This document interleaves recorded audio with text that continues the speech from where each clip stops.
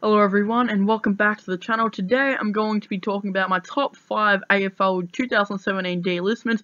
But before I start this video, make sure to leave a like, subscribe to my channel, and subscribe to my channel, link in the description below. And without further ado, let's get started.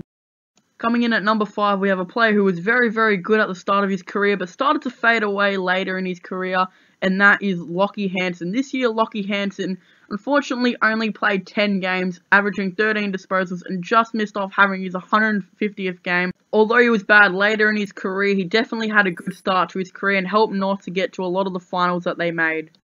Coming in at number 4, we have a player who also was very, very good at the start of the year, but unlike Lachie Hansen, his career was ruined due to injuries, and that is Jack Trengove.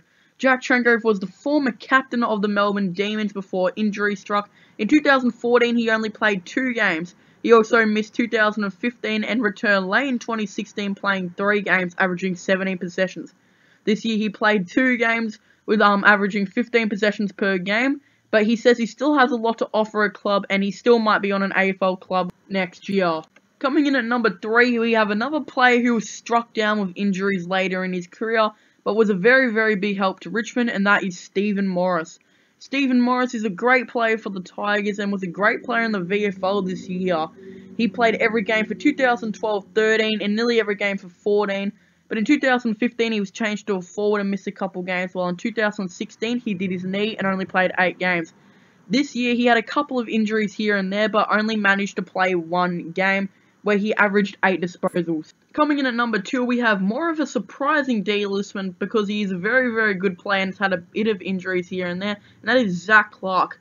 Zac Clarke was arguably one of Fremantle's best young players, he also played in the 2013 Grand Final, and nearly played every game for the 2014 season.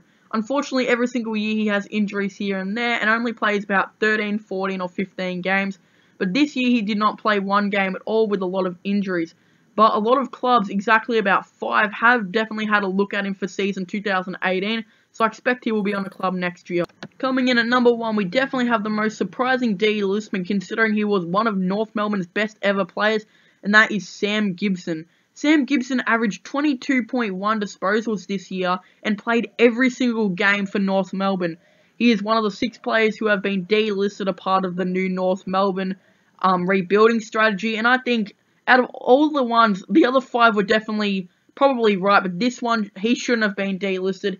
He has the most consecutive games record of all time and for North Melbourne, playing, I think it was um 130 games in a row.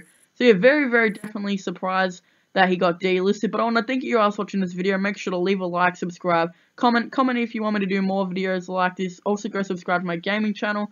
Link in the description below and I'll see you guys next time. Goodbye.